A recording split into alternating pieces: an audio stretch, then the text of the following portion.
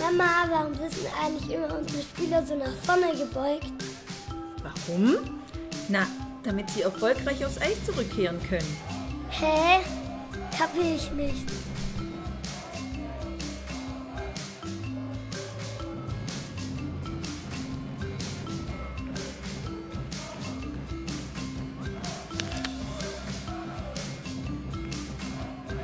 Kapiert?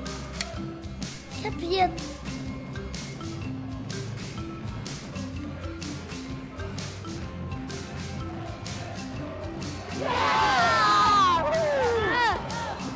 Frische Früchte, frische Jungs.